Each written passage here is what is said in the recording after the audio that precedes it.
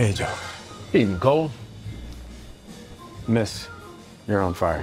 Very original. No, I do not want to stop, drop, and roll with you. No, your book is on fire. Oh my God. Alcohol and flames, they like each other. Cole Davis. Kelly Jones.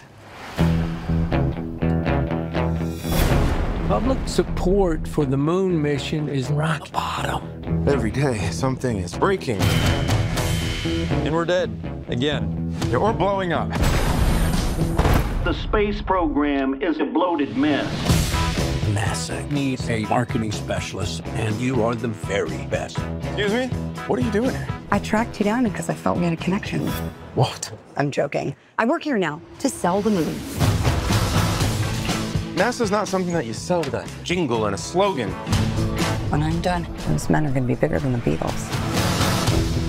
Who is that? For me, this is a very personal. He's got my name. You told me that your guys don't do interviews, so I had to hire new guys. I'm here for the casting.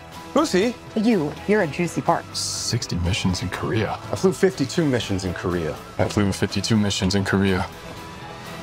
How's that? What? The whole world will be watching.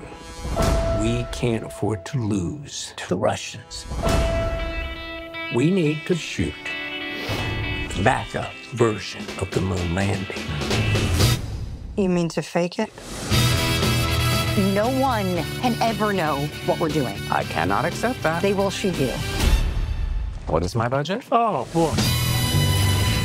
I know a lot more about the moon than I know about you. Give me go, no go for launch. If you fake this mission, every single thing that we have sacrificed will have been for nothing. You know you couldn't have made it to this day without me. Four, three, two, one. And My Armstrong is a whiny little witch we have to recast.